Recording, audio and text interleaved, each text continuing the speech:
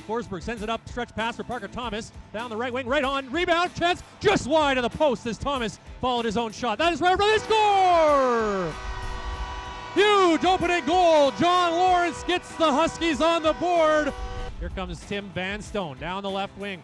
Vanstone backhand. There's a rebound right out front. Kozun kicked that into a dangerous spot, but to get those offensive chances. now it's back to the point. Sherbinen looking for a lane. Gets the shot. through. There's a rebound chance right in front, and a great stop by Kozun as Dane Gibson was looking for that rebound, poked away, and Levi Cable looking for someone out front. Nobody there, so he'll send it back to the left point for Francouz. One timer, Forsberg. That's partially blocked, but now it comes to the side of the goal. Puck still loose, but then Paperny gets a pad on it, folds the puck in, now drops it back to the right point for Collins. Collins to Sherbinen.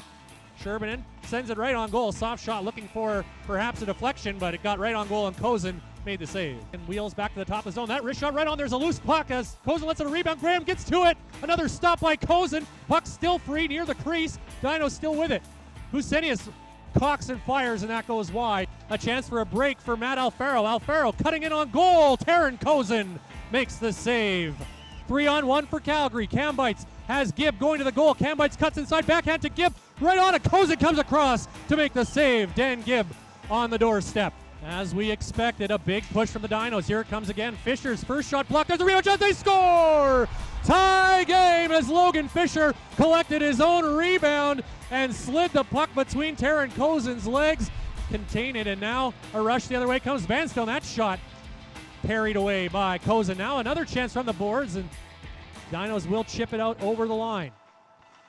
Jesse Forsberg has some room, gets across center, moves around one man now, gets it to Stadnyk, who has it alone, scores it, Stadnyk scores!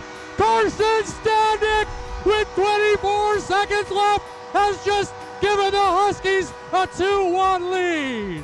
And there's a Wow. mob scene on the ice in the Calgary zone. The empty net for Levi Cable. He's going to salt it away. Huskies are going to win it. 3 1 Levi Cable with the empty net goal. But we do know that the Huskies have given their barn a great send off as the celebration is on. They mob Taran Kozun